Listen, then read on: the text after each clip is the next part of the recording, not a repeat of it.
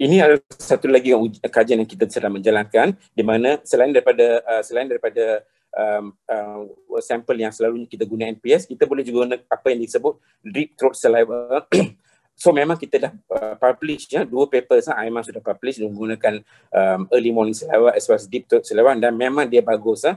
dia as good as guna NPS lah. Finding ini penting sebab apa? Bila kita suruh uh, ambil uh, deep throat saliva, kita akan ada pinjamatan dari segi uh, uh, tidak perlu menggunakan kan ini self collected ha? so which means orang yang ambil itu tidaklah uh, perlu tapi tidak melibatkan pipi yang pengguna pipi yang banyak ha? dan also tidak ada keperluan untuk ambil VTM and swab. So memang akan ada penjimatan lah.